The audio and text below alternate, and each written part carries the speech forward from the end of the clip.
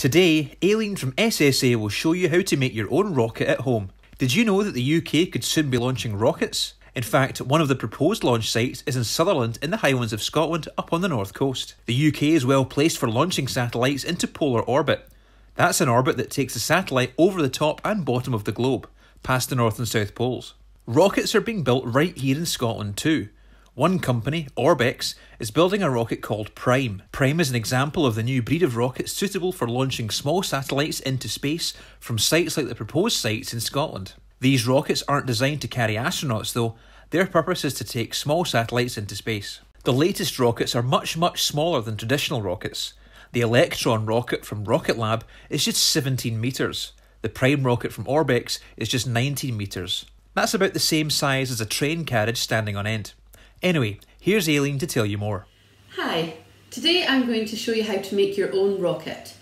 To do that you are going to need some paper, a pair of scissors, some tape or glue, a marker pen, a straw and a pencil for drawing with. So the first step in making a rocket is to make the main body of the rocket and to do that we're just going to wrap a piece of paper around our marker pen. If you don't have a pen, that's okay. You can use a pencil or a rolling pin or anything else that you can wrap a bit of paper around. Once you've done that, take a bit of tape and just secure it so it stays in place. Once you've got the tape on it, you can take the pen out and then the most important part of our whole process is to seal one end of this tube. And the reason that we need to seal that end is when we come to launch it, we're going to use a straw to blow air into it. And if there's a gap at both ends, the air will just come straight through instead of letting the rocket fly. So the next stage in building your rocket is to make the fins which will help it fly. Your fins can be any shape or size that you like. Um, I am going to have some triangle shaped fins, so I've just drawn a triangle on my piece of paper and I'm going to cut it out. The reason I've only drawn one is so that I can use this one that I've cut out just now as a template to draw around so that when I make my second fin it will be exactly the same size and shape as the first one.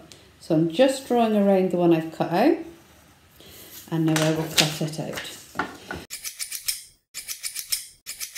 So now we've got our two fins. You can have as many fins as you like, but I'm just going for two. We have to attach them to a rocket. To do this, you're going to fold the edge, one edge of your fin, so that you've got a bit of a fold in it there like that. And then you're going to cut halfway along the fold. And then you're going to keep one part of the fold on one side of the fin and put the other fold on the other side of the fin. So you've got one on each side. Then we need to put tape on both of these bits of fold. And once we've done that, we can stick it onto the rocket. And we're going to attach it to the bottom end of the rocket where there is no tape.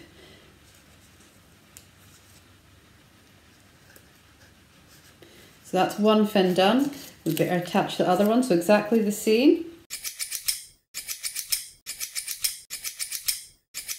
and that's our fins on our rocket.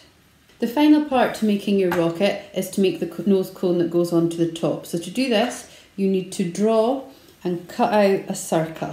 I've drawn around a bottle top that I've found, but you could draw it freehand if you would prefer.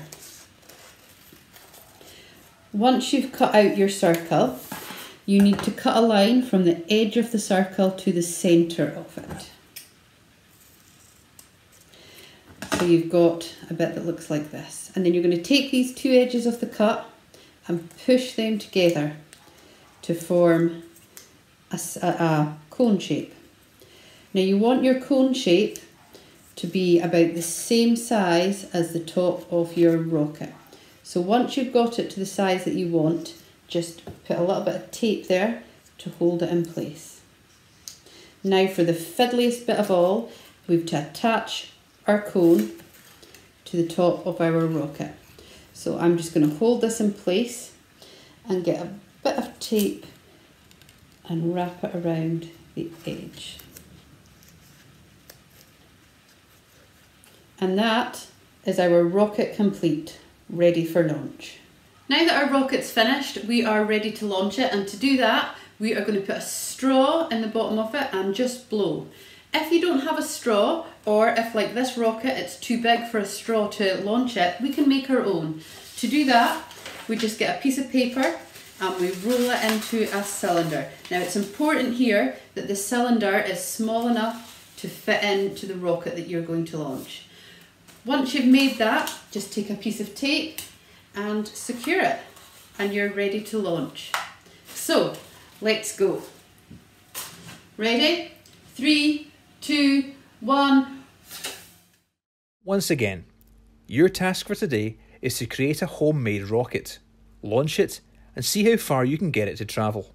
If you'd like to send us a picture of your homemade rocket, please ask your parents to email newton.rooms at hient.co.uk. Or alternatively, you can post the picture on Facebook or Twitter and tag at SSA STEM.